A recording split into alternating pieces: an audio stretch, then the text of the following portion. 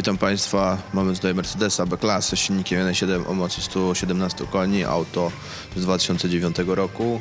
Mamy instalację BRC Sequent 32, a jej elementy to centrala sterująca, filtr fazy lotnej, reduktor połączony z filtrem fazy ciekłej. We wnętrzu znajdują się przełącznik. Tu schowany w schowku jakby na popielniczkę.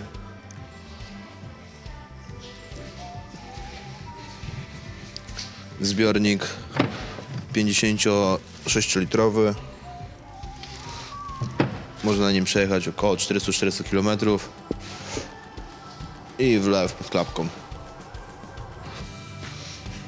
Cena to 2900 zł, a zwrócić po przejechaniu około 12 000 km. Dziękujemy, zapraszamy do kolejnych odcinków.